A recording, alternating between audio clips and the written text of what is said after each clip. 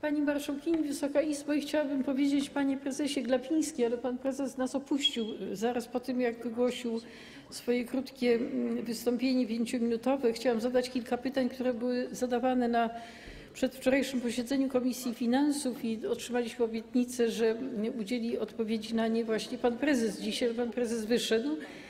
Niemniej zadam te pytania. Emitowane są i sprzedawane obligacje BGK i mm, Polskiego Funduszu Rozwoju za ponad 100 miliardów złotych. Według Eurostatu zadłużenie z, z tego tytułu wzrośnie do około 200 miliardów e, pod koniec tego roku. To oznacza, że polski dług publiczny przekroczy mm, 60%.